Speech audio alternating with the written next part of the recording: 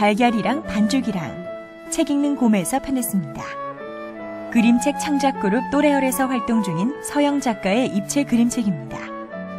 부엌에 남은 달걀 한 알과 반죽 한 덩이가 샌드위치로 변하기까지의 과정을 담았습니다. 다양한 헝겊 조각을 이용해 손바느질로 작업하고 주인공 캐릭터에는 도톰한 솜을 넣어 입체감을 더하는 등 작가의 정성이 돋보입니다.